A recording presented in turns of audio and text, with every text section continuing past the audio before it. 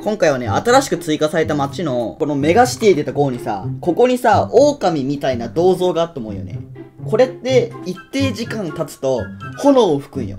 その炎の中に入ったら、どうなるのかなっていうのを調べたいと思います。そろそろ測れるよ。これこれこれこれ。スタート。あおおおっおしくれ。ええあ透明化するだけだ。なんもねえわ。